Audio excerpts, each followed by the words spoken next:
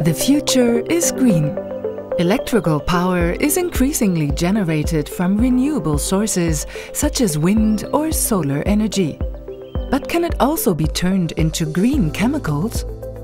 Evonik and Siemens have an idea.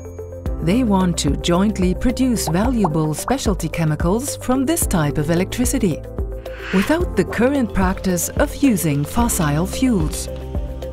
The research project that brings together the expertise of both companies is called Rheticus and is sponsored by the German Federal Ministry for Education and Research.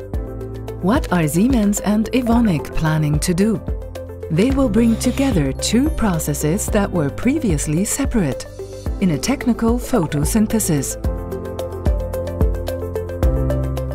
In a first step, the researchers will convert carbon dioxide to carbon monoxide with the help of green electricity.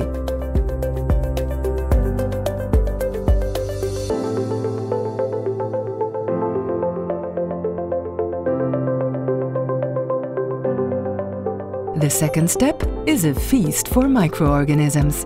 They love gases containing carbon monoxide and gobble them up. Evonik then plans to use the resulting secretions to produce specialty chemicals, such as plastics, nutritional supplements, or even fuel. The first large-scale pilot plant in which Siemens and Evonik plan to implement these procedures will be constructed in Marl, North Rhine-Westphalia. Sustainable production of important specialty chemicals, wise use of green electricity, and significantly fewer emissions. That's what the German Energiewende is all about.